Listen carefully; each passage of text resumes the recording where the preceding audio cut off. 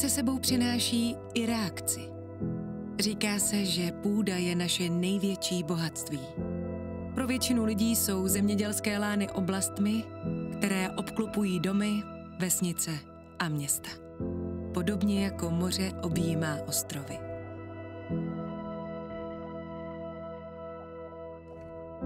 Pro divoce žijící zvířata jsou zemědělská pole jejich domovem a prostředím, kde hledají obživu.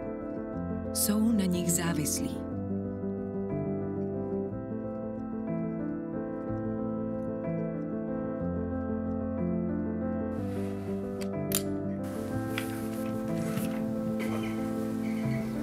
Sově pálené se věnují zhruba od roku 1984-85. To byly takové ty počátky, kdy jsem nejdříve eh, na kole projel celý okres Olomouc a kontroloval jsem vlastně všechny sakrální objekty. Bylo zřejmé během našeho monitoringu těch sakrálních objektů, že sovy pálné z nich postupně mizí a měli jsme k dispozici historická data, měli jsme k dispozici údaje o početnosti sovy pálené, v těch jednotlivých regionech a na těch jednotlivých objektech. No a protože ten stav byl neutěšený, tak logickým vyústěním byl realizace těch záchranných opatření. Jelikož jsme k sově pálené měli poměrně velký vztah, tak jsme si řekli, že musíme pro ní něco udělat. První budky jsme instalovali z vlastních zdrojů a z vlastních prostředků. No a posléze jsme začali realizovat jednotlivé projekty v jednotlivých regionech.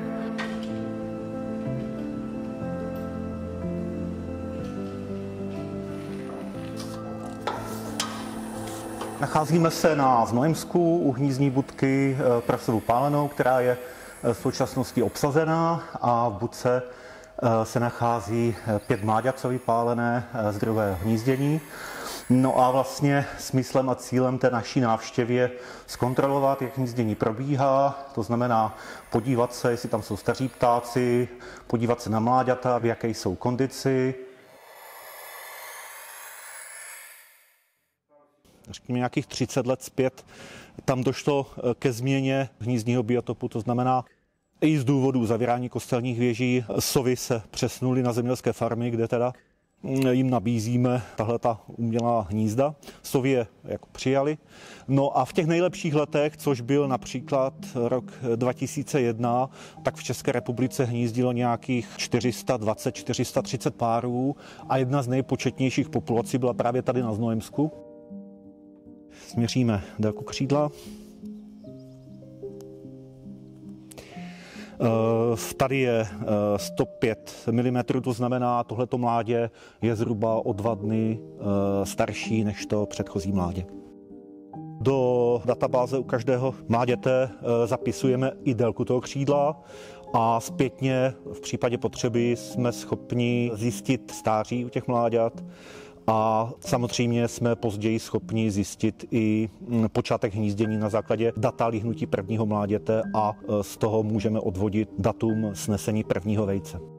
V podstatě skoro všechny páry, které letos hnízdí, tak mají druhá hnízda a ta hnízda jsou velmi početná.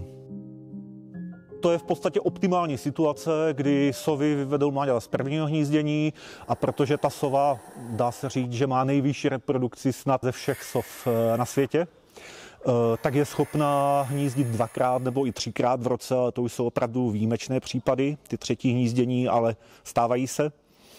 No a v prvním hnízdění ten počet mláďat bývá kolem 5-6 a pokud je dostatek potravy, sovy na to reagují hormonálně, protože vlastně samec eh, přináší samici neustále mnohem, mnohem větší počet kořistí, než jsou schopné ty sovy skonzumovat. Samice vidí to obrovské množství potravy, takže je z toho nadšená a začíná, začíná snášet vejce, začínají se pářit. A ty snůžky jsou v podstatě pravidelně anebo velmi často početnější než ty první hnízdění, protože vidí to obrovské množství potravy a takže vlastně v letošním roce máme v hnízdních budkách na druhých hnízdech, tady třeba na Znojemsku konkrétně 8-9 mláďat.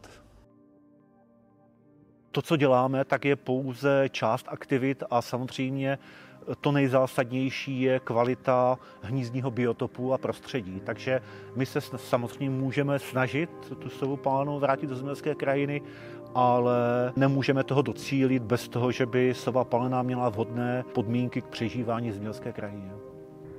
Z mého pohledu sova pálená určitým způsobem vyniká. Je to tajuplný druh, neboť žije v noci. Není možné ji běžně vidět v krajině, což jaksi zvyšuje takovou tajuplnost tohoto druhu. Žije s člověkem, dalo by se říci, pod jednou střechou a v podstatě její populace je v současnosti soustředěna do člověkem vybudovaných staveb. Ty budky instalujeme do vyšších výšek právě protože se to líbí sobě palené, jinak bychom to nedělali ale samozřejmě s přibývajícím věkem to může být určitý problém. Práce ve výškách, na druhou stranu je to otázka zvyku a i určité eh, rutinní práce. Eh, I na tohle to se dá zvyknout, ale je potřeba velké opatrnosti.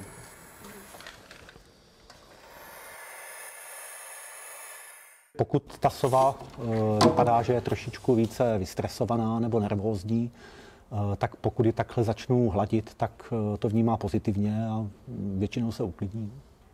Eh, tak tady vidíme vnitřní prostor hnízdní budky s vnitřní přepážkou. Ta přepážka má tam ten význam, že vlastně staří ptáci vletí vletovým otvorem, projdou kolem přepážky a za tou přepážkou se dostávají do toho hnízdního prostoru budky a vlastně ta hnízdní přepážka jim tvoří určitý komfort při tom hnízdění, protože eh, eliminuje příchozí světlo, které vlastně přichází z toho hnízdního otvoru.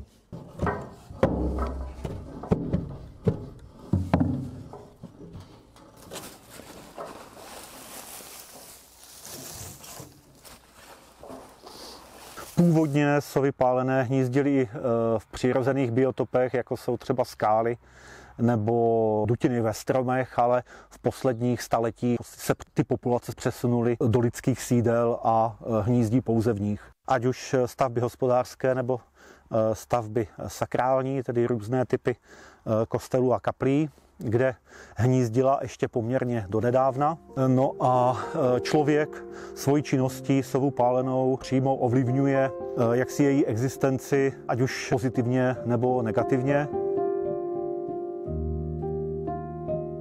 Začátky určitě jsem dělal já s bráchou, jo, to, tam to byl takový, my jsme takový tým a děláme takhle spolu pořád. Tím, že jsem z Moravy, tak jsme začali eh, na okrese Olomouc a postupně jsme se rozšiřovali v rámci Moravy a až posléze někdy v roce 2001 jsme začali realizovat práce v Čechách. Eh, v rámci Moravy tento projekt probíhá ve dvou eh, krajích. Jedním z nich je Jihomoravský kraj a dalším z nich je Zlínský kraj.